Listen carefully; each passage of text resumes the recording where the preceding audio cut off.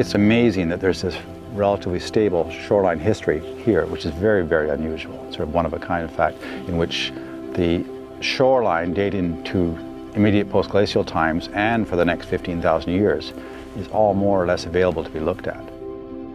This means that uh, for the same amount of time, people have been able to access and re-access the same beaches and establish their communities in the same locations that their ancestors had.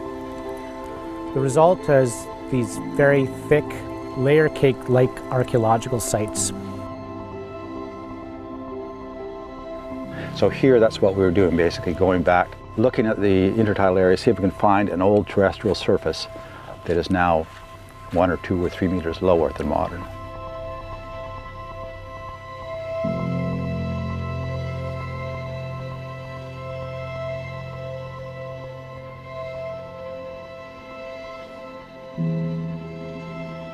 And you see it's the heel of a foot here, the toes at this point here, and the arch in this spot here. So this is somebody's left footprint. It's really, really exciting to be able to put more of a, of a, of a human story. I mean, archaeology is a lot about rocks and bits of charcoal and maybe some animal bones and that, but when you can actually see where people have been walking around and sort of look at these footprints and start to see uh, potentially the gait of somebody. You have a, a left foot here and a right foot here.